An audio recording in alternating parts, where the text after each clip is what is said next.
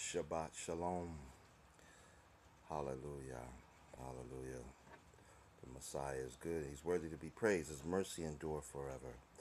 Hallelujah. Today, very simple message, and it is basically that we should be one in the Holy Ghost. We should be one in the Holy Ghost. We should be able to commune in the Holy Ghost. And um, so, you know, if the hand says I'm not a part of the body, if the eye says I'm not a part of the body, even the most weakest points, the scriptures say make up the body. We all, it all is a functioning thing. The same with the body of Christ, the body of Hamashiach. You know, we all need each other in some way, form, or fashion. And so there's no big I, little you. The scriptures say iron sharpens iron. You know, so, you know, that's why we should all be one and be able to commune in the Holy Ghost, you know. Some are some are just on the milk of the word, some are on the meat of the word, some are just babes in Christ, some are, of full age and seasoned. And somehow or another we have to intertwine that and bring that together as, as, as the body of the Most High, the body of El Elyon, the body of the Messiah of Hamashiach, okay? And so that's the basic basic message for today is that we should be uh, able to come together, commune as one, be on one accord, as the Bible says. And some of us, the ministers of the Most High, uh, we go through so much, but it's really for your glory, for you to be strengthened for God's glory. So it's for you to be strengthened, and it's for God's glory, and that He will get the praise. And now one plants, and the other waters, and Elohim gets the increase. So uh, that's how it is. One sow a seed, someone else will come by and water. I may sow a seed. You may say, I heard that message before in the scripture. Uh, you know, I heard that somewhere else. That's somebody coming to water, and eventually, you know, God will get the increase. Elohim will get the increase as He builds you up. As we were speaking on last week, growing in grace, and we talked about, uh, well, the past couple weeks, growing in grace, and uh, also perfect. Because sometimes people think you just think you holier than thou. That guy thinks he's holier than thou. That girl thinks she's holier than thou. Look at that brother. Look at that sister. And it's not that. We just understand what the scripture says when it says, Be ye perfect as Christ is perfect. Perfect your faith. Perfect holiness. Without holiness, no one will see the Lord. No one will see the Lord. So it's not trying to be perfect, although some we do see people trying, I'm perfect. I'm I'm so religious and I'm so this. No, what did the sinners what, the sinners pray? All he said was, I'm a sinner. You know, he didn't go through what the other uh, other man was talking about. I'm not like this guy and all that. He just said, the guy just said, I'm a sinner. And even on the cross, the one the one uh, robber said, Lord, remember me. That was a simple prayer. He said, Today you'll be with me in paradise. The other was like, Save us, you know. So uh, again, we should be able to commune with each other in the Holy Ghost. And, um, and like I said, even though those ministers of Christ, of Messiah, go through for your behalf, you know what I mean, for your behalf. So you don't know what we're going through. Like the scriptures say, ye that live godly shall suffer persecution. The scriptures also say persecution comes because of the word, just having the sword, the, two, the double-edged sword of the Spirit of the Holy Ghost or the word in you. But we should be able to commune in the Holy Ghost. Let's go to the scriptures. Second Corinthians chapter 13. Second Corinthians chapter 13. So be it. And he that have an ear, hear what the Spirit is saying.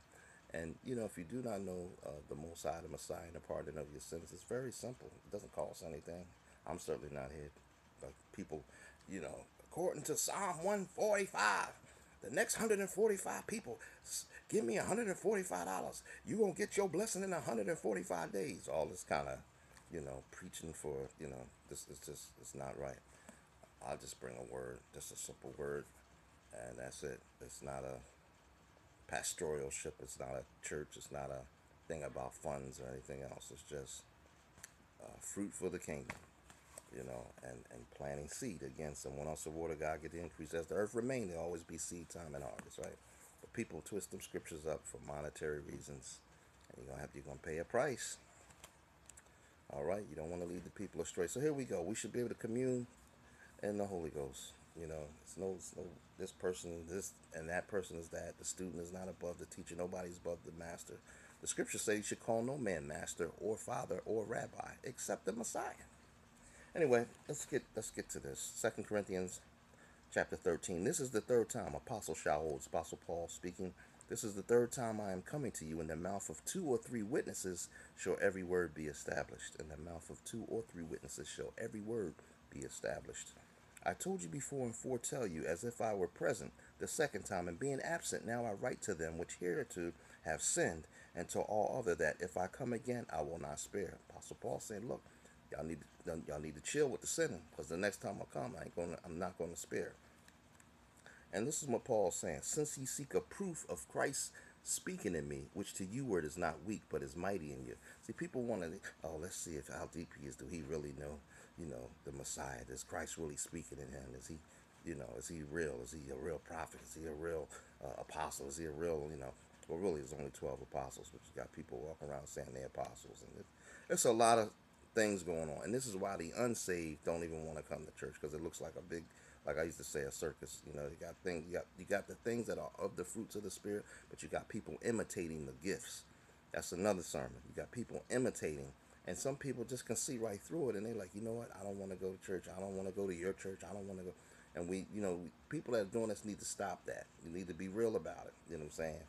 You know, because you're messing, you're messing with the babes in Christ. You're messing with people's minds, people's spirits you know, they're really, really reaching out to you. They really want salvation. They really want a word from the Most High. They really want deliverance.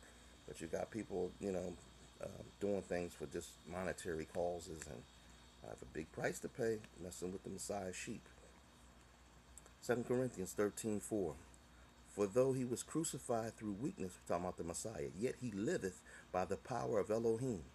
For we also are weak in him but we shall live with him by the power of Elohim towards you. See, the ministers, we are we're weak in the Messiah because we're always going through something, but yet we, we're strengthened by the power, you know what I mean, uh, of the Holy Ghost.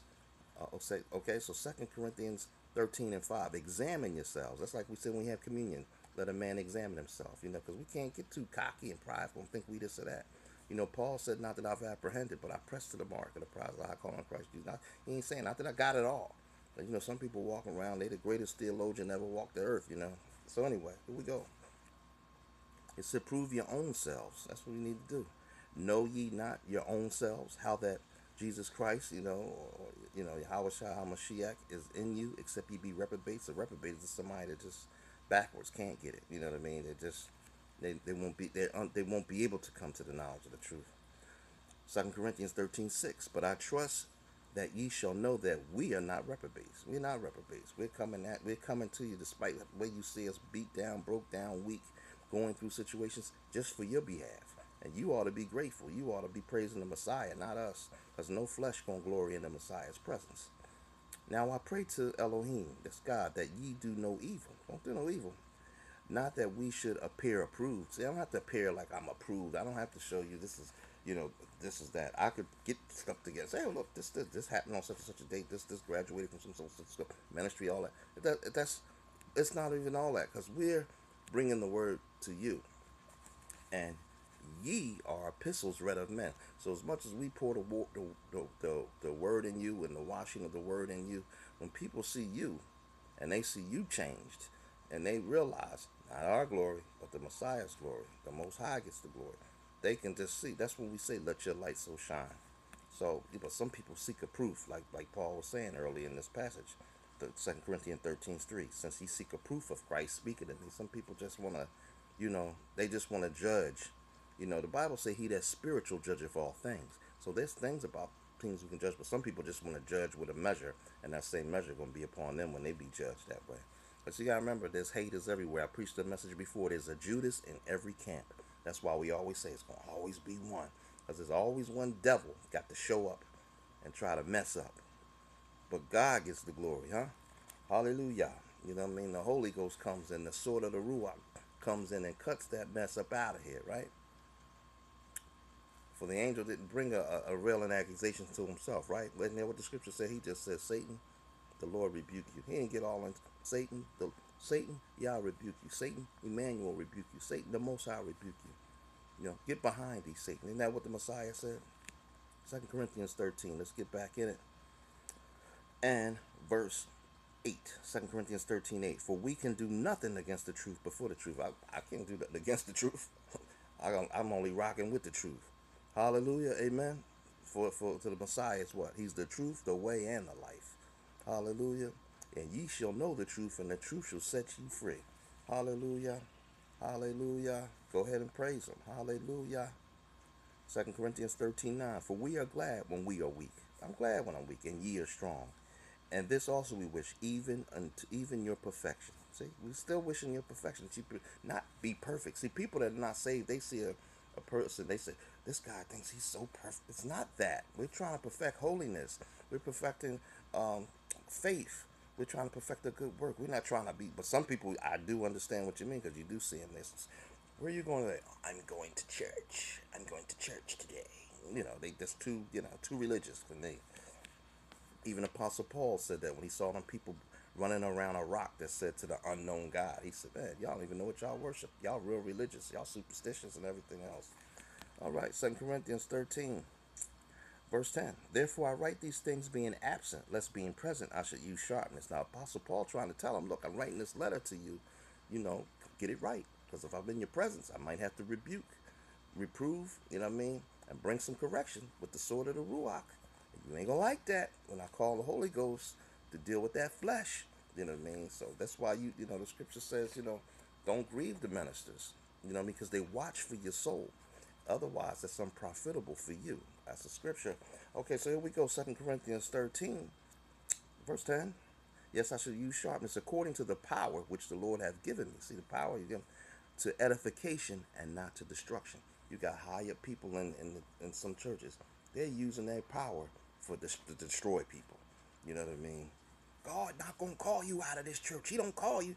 Know, he could have called me out your church because there's some foolishness going on, and that's why I'm in this church or have my own church or whatever the case. For those that go through different, I'm just giving examples, and then people say, "Oh, we gotta go get get the intercessors and we gotta pray against them. A spirit done come over them." And now you got these higher people praying witchcraft, manipulation, and all these things upon you. I'm talking to somebody that been through all that kind of church hurt and stuff. Been there, done that. A good half a dozen times. Not saying all, but again, we want to think about the babes. You're doing some things, you're not even doing, taking scriptures out of context. And it's not to destroy people, it's for edification. You know, when you see that somebody is in the Most High, you see you got a good servant, a faithful, loyal person that comes to, to, to, to worship with you. You don't chop them all down and try to you know, unless they're in sin, unless they're in their flesh, unless they're operating like Satan in your church. If they're not, why you, why are you trying to be so super overpowered? And, and you're just, you're an overseer. You're not somebody that's, that's trying to be a hard taskmaster. Don't we have enough to go through? Shouldn't we be able to have a safe haven in the church? Mm, that's why the church is the body of Christ, because he said he don't dwell in uh, uh, buildings made by hands. But we got to stop this beating up people and all that kind of, you know, you better better start loving what the scriptures say. This is how you know ye are my disciples, that ye have love for one another.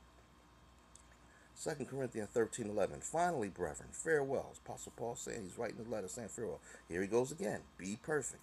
He's not talking about act, be perfect, like religious people. I'm so perfect. I don't do that. I don't listen to that. This is we're not talking about that. We're talking about perfecting holiness, righteousness, perfecting your faith.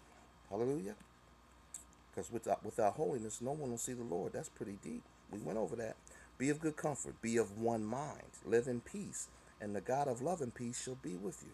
If see, we just live in. The scripture says, as much as possible, live peaceably with all men. Greet one another with a holy kiss. A holy kiss. Not no unholy kiss that some of us doing folk doing in churches. Not unholy. Holy kiss. Okay? It was a greeting. All the saints salute you. The grace of the Lord Jesus Christ, you know, Yah HaMashiach, and the love of Elohim, and the communion of the Holy Ghost be with you all. Amen. So be it. The communion of the Holy Ghost. Okay? Shalom. That's what we need. Whether weak, strong, on this or that, we need to be able to commune in the Holy Ghost. Come together in the Spirit. Lift holy hands together, you know, and have fellowship, have forgiveness, and above all, have faith toward God. Because whatever is not faith is sin. That's what the scriptures say. Love you all. Shalom to you all. Peace be unto you.